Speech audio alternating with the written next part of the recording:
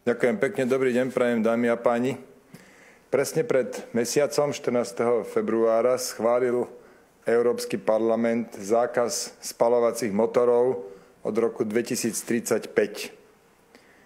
Toto opatrenie má platiť na území celej únie a je veľmi problematické, je škodlivé, obzvlášť je škodlivé pre Slovensko, ktoré je automobilovou veľmocou. Tento zákaz podporili sociálni demokrati, zelení, poslanci za progresívcov, pán Šimečka a pán Hojsík, ako aj extrémna lavica. A proti tomuto zákazu boli europoslanci za SAS, Eugen Jurzica, alebo europoslanci za KDH, e, konkrétne Miriam Lexman a Ivan Štefanec. Následne o tomto zákaze mala rozhodovať Európska rada, čo je väčšinou iba formalita, ale našťastie prevládol zdravý rozum a po tlaku Nemecka, Talianska, Polska a Česka sa takéto rozhodnutie odkladá na neurčito. To je na teraz dobrá správa, preto lebo zákaz úplne všetkých aut so spalovacím motorom, aj napríklad e, so spalovacím motorom na syntetické paliva, na biopaliva, na vodík, kde by sa teda priamo spaloval. Všetko toto by bolo veľmi nešťastným a nedomysleným riešením. Je úplne absurdné, ako o tejto téme mlčí poverený premiér Eduard Heger a taktiež poverený minister životného prostredia Jan Budaj. Totiž na rade nás bude zastupovať v tejto veci práve Jan Budaj a tu máme obavu, že nakoniec aj Slovensko prispieje k tomu, že auta so spalovacím motorom budú od roku 2035 zakázané. To sa zdá byť síce ďaleko, ale 12 rokov z pohľadu životnosti modelov aut je relatívne krátka doba. Eh, jeden model má životnosť 7 alebo 8 rokov, potom sa obnovuje síce, ale 12 rokov ubehne najmä teda hlavne veľmi rýchlo a najmä z pohľadu e, vývoja. E, napríklad Volkswagen prestane vyvíjať spalovacie motory už od roku 2025, taký majú teraz plán, keďže rátajú s týmto zákazom. Úplný zákaz klasických spalovacích aut bude aj znamenať, že väčšina obyvateľov si nebude môcť dovoliť kúpiť nové auto a Samozrejme, že zhorší sa ich prístup k mobilite a k nezávislosti. A ďalší veľký problém, to sme zažili práve minulý rok, je, že elektroauta potrebujú logicky elektrinu, ktorej je momentálne málo, najmä po tom, čo Nemecko úspešne odstavilo všetky atomky a posledné dve odstavia koncom tohto mesiaca tam došlo k predlženiu o 3 mesiace z konca roka na koniec, z konca minulého roka na koniec marca tohto roku. Čiže na jednej strane si zakážeme autá so spalovacím motorom, úplne dobrovoľne, my sami si ich zakážeme, aby sme boli odkázaní na o mnoho drahšie elektroautá a zároveň hlav, najväčšia ekonomika Nemecka odstaví všetky jadrové zdroje, a ne, takto to nemôže fungovať. Stane sa to až o 12 rokov síce, ale bude to naozaj veľký problém. Európska únia jednoducho ženie automobilový priemysel do priepasti, ale teraz sa dá s tým ešte niečo urobiť. Preto chcem vyzvať premiéra, povereného premiéra Eduarda Hegera, aby jasne povedal, ako sa Slovensko tejto veci chce postaviť, aby aj svoj postoj vysvetlil a pokiaľ možné, tak vyzývam ho, aby nesúhlas, nesúhlasil so zákazom predaja spalovacích motorov. Všeobecne mne trochu prekáže, že príliš ľahko vážne premiér aj minister životného prostredia Jan Budaj súhlasia prakticky so všetkým, čo prichádza z Bruselu a v tomto prípade naozaj by bolo veľmi žiadúce pridať sa k blokujúcej menšine, to sú krajiny Nemecko, Taliansko, Polsko a Česká republika. Ďakujem pekne za pozornosť. Poprosím teraz Jana Oravca o pár slov. Ďakujem pekne, vážené dámy a vážení páni. Dovolte teda aj mne, aby som k tomu, čo už Richard Sulik povedal, dodal zo pár e, faktov, čísel a ďalších postrehov. Tak predovšetkým, samozrejme všetci, nielen v tejto miestnosti, súhlasíme s tým, že máme problém s klímou, že máme problém so životným prostredím, ale zároveň predpokladám, že všetci súhlasíme aj s tým, že potrebujeme riešenia, na riešenie tohto problému, ktoré nie sú radikálne a nedomyslené. A myslíme si, že jednoznačne nábeh len na elektromobilitu a zákaz spalovacích motorov, motorov je radikálne a nedomyslené riešenie. Uvedomme si, že elektromobilita je v podstate len stále v plienkach vo svojich začiatkoch. 6 tisíc je počet evidovaných elektromobilov na Slovensku. Máme asi 1500 e, nabíjacích miest na 630 miestach Slovenska. A keďže vieme, že automobil či elektromobil nedokáže prejsť väčšina z nich viac ako 500 kilometrov, tak samozrejme tá infraštruktúra tu ešte nie je. A neplatí to len o Slovensku, platí to aj o väčšine európskych e, krajín. Z tohto hľadiska si myslíme, že treba zvážiť všetky tie súvislosti prechodu len na elektromobilitu, lebo keď sa pozriete na výrobu, tak zistíte, a hovorí to samotná Európska komisia, že do roku 2030, čo už je teda v podstate za rohom, ak máme vyrábať len elektroautá v Európe, tak budeme potrebovať 15 krát viac lítia, budeme potrebovať 14, 4 krát viac kobaltu, 4 krát viac grafitu a 3 krát viac niklu. Je jasné, že väčšina z týchto prírodných súrovín sa nachádza mimo Európskej únie a bohužiaľ aj v krajinách, ktoré nie sú veľmi stabilnými partnermi Európy. A ak sa aj nachádzajú na území Európy, tak veľmi dobre viete, ako je to s otváraním starých baní alebo s novými baňami. Jednoducho je nerealistické čakať, že Európa zmobilizuje tieto prírodné zdroje na výrobu elektromobilov. Aj z toho dôvodu ani v samotnej Európskej komisii nie je na túto tému jednotný názor. Jednoznačne lídrom toho prechodu len na elektromobilitu je, je, je viceprezident komisie pán Timmermans. Na druhej strane francúzsky eurokomisár Breton je predstaviteľom takého rozumnejšieho prístupu. Presadil si už do toho prvého návrhu, ktorý schválil, schválil Európsky parlament to, že, tam, že v roku 2026 by mala komisia sa znovu pozrieť na ten, ako sa nám darí v tom prechode a urobiť prípadné nejaké zmeny z hľadiska tých cieľov. A teraz, keď teda Nemecko sa ozvalo, tak je ešte odvážnejší a hovorí, že by nemali neexistovať žiadne tabu v diskusii o zrušení zákazu e, spalovacích motorov a vyzýva k chladnému realizmu. A to si myslím, že je aj náš postoj v tejto téme, že e, presadzujeme tiež chladný realizmus a to, aby sme naozaj hľadali riešenia, ktoré sú rozumné.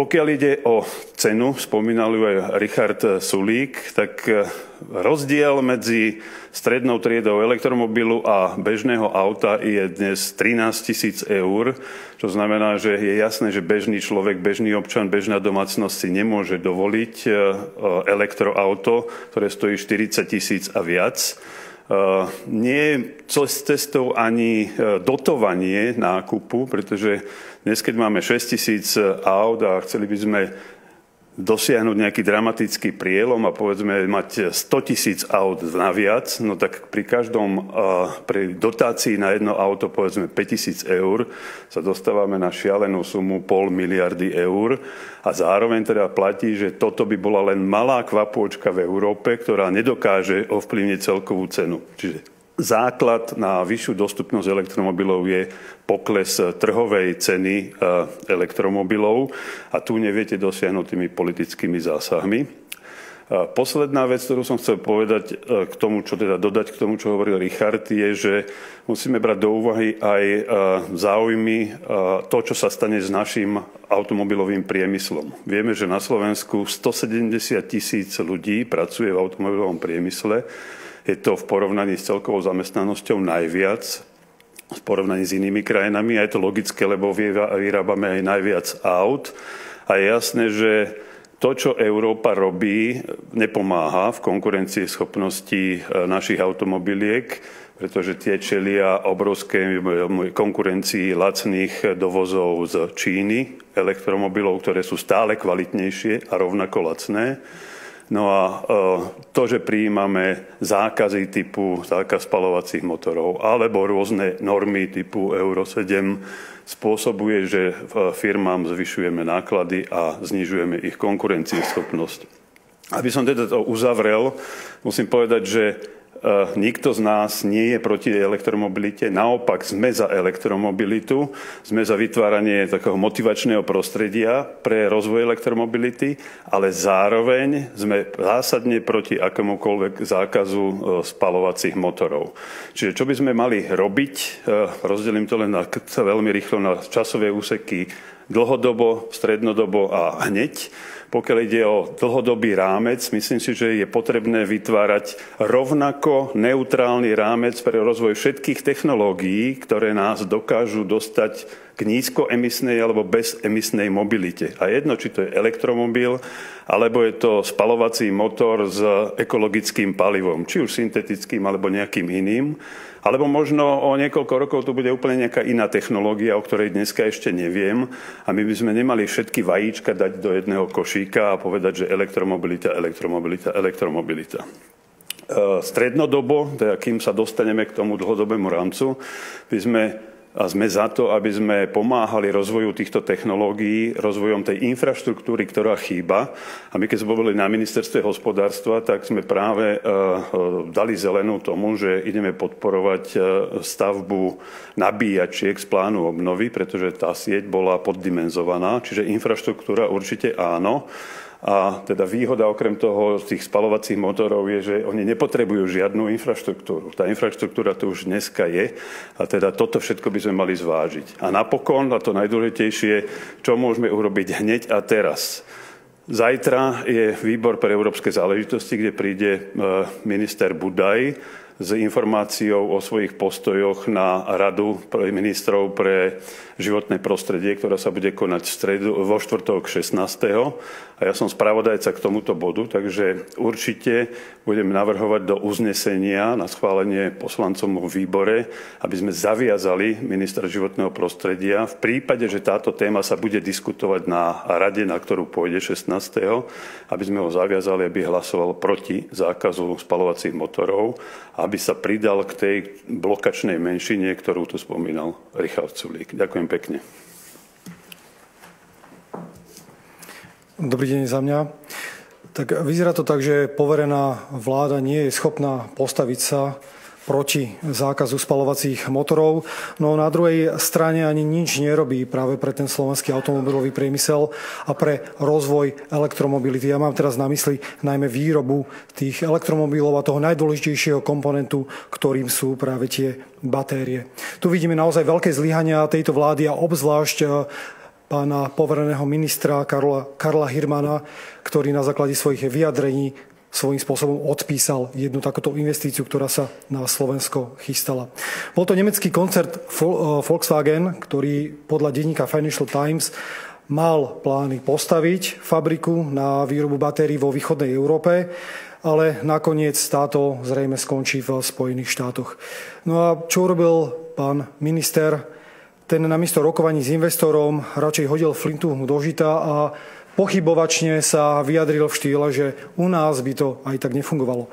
A práve horúcim kandidátom na takúto baterkáreň bolo Slovensko, pretože Volkswagen plánoval celkovo v Európe postaviť 6 takýchto baterkární. Jedna z nich mala byť práve v krajine V4.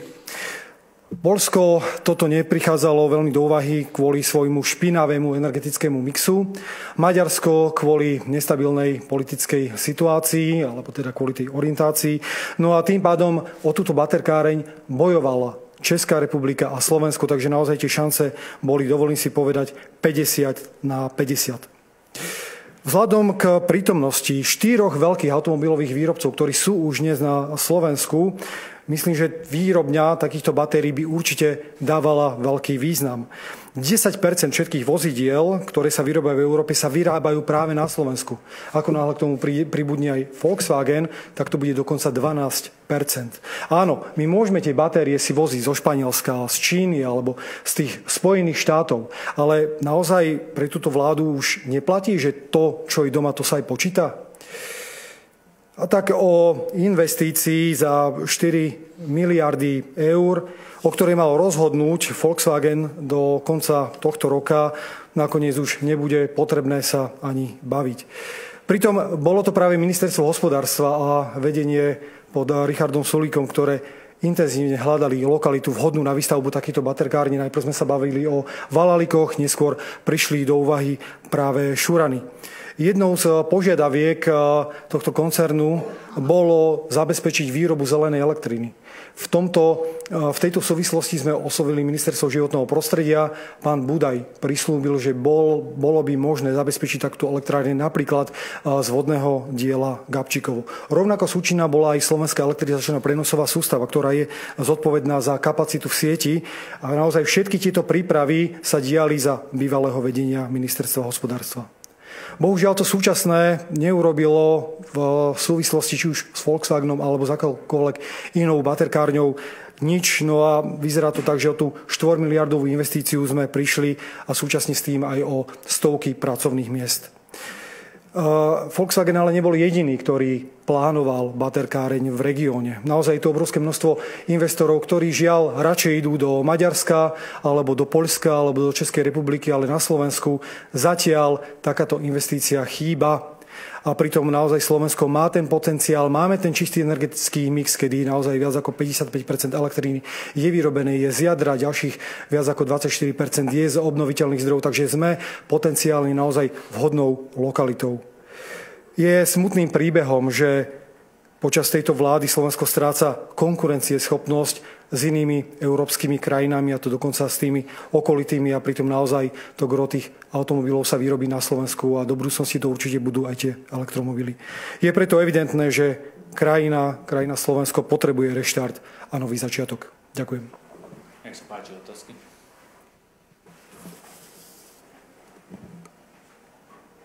Dobrý deň, Ladislav Žiko, televízia Markiza. Ja mám otázky mimo témy na pána Sulíka.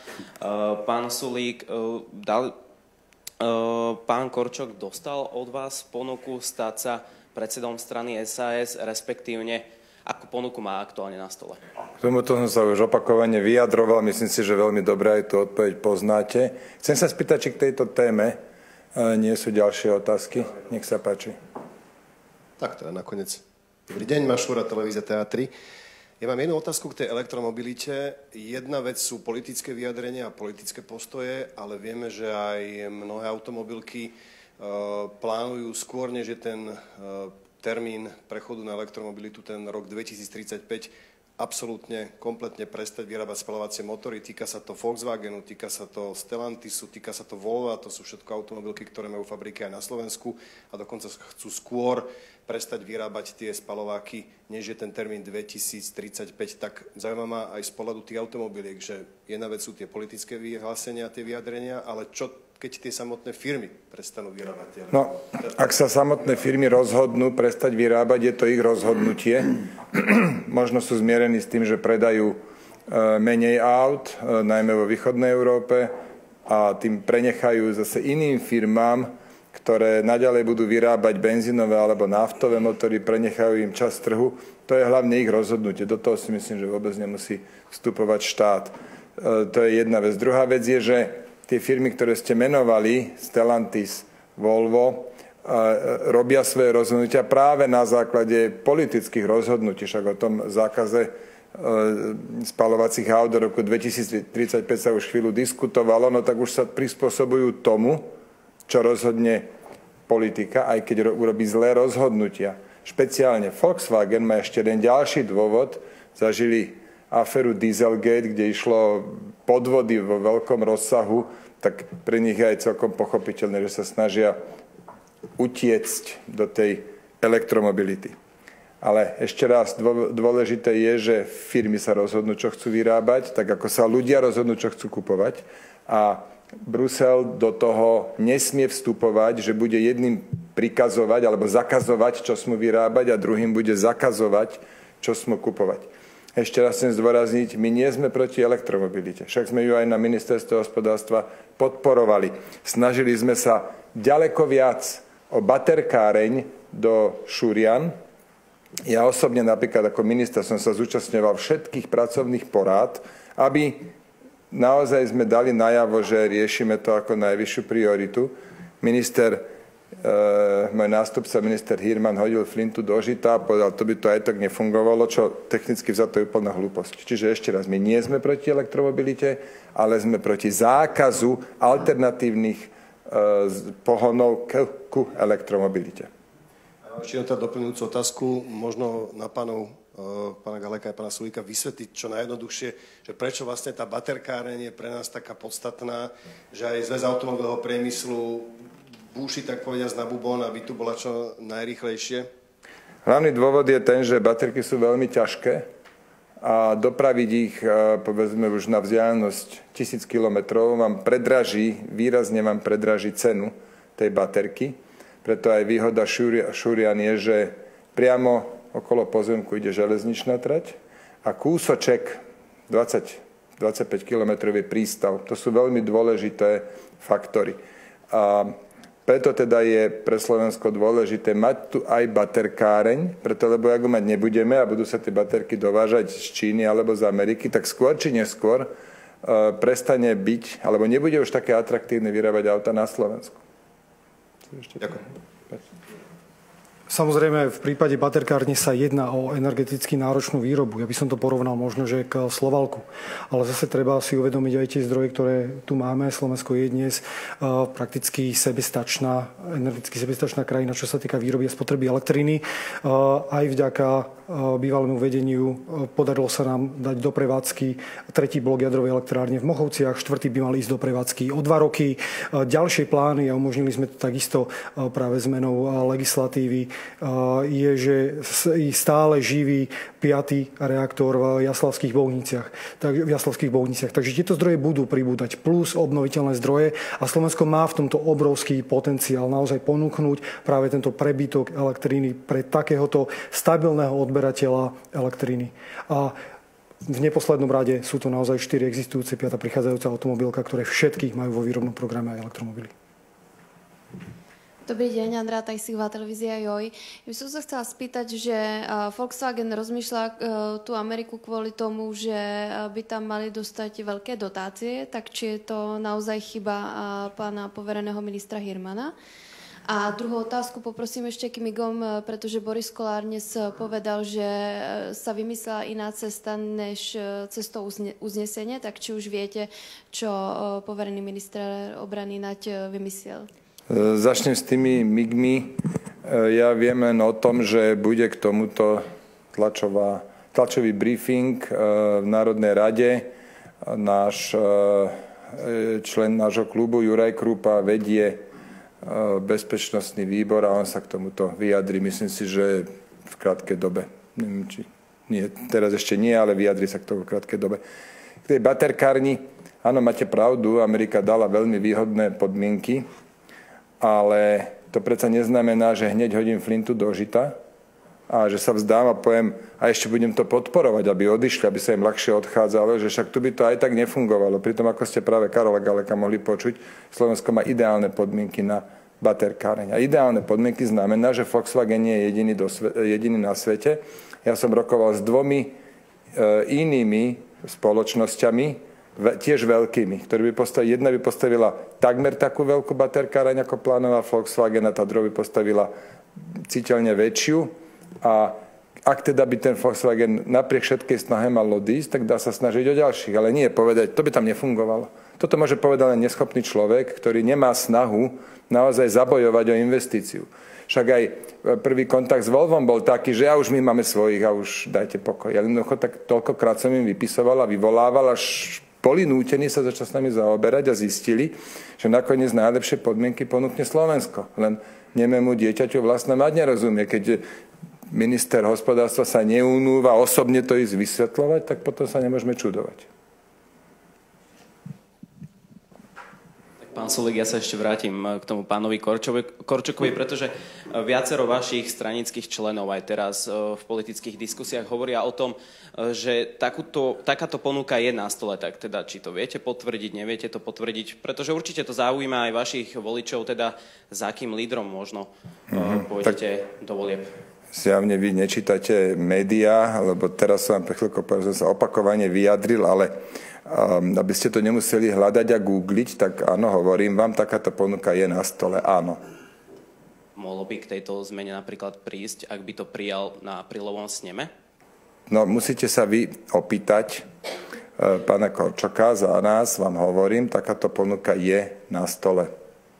Ešte sa chcem spýtať, vy už dlhú dobu máte teda v tých predvolebných prieskumoch klesajúcu tendenciu. Čo na to hovoríte, ako to možno chcete zmeniť?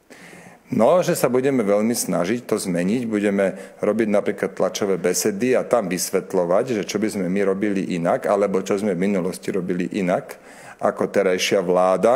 E, dnes konkrétne to robíme v prípade spalovacích motorov, že vysvetľujeme, ako je dôležité nesúhlasiť so zákazom spalovacích motorov a teda máme tu nádej a to očakávanie, že voliči 30. septembra si povedia, nakoniec tá Saska to robí, robí to solidne, stabilne, majú skúsenosti, robia to bez korupcie a chaosu a e, myslím si, že toto nám priniesie dostatočný počet hlasov.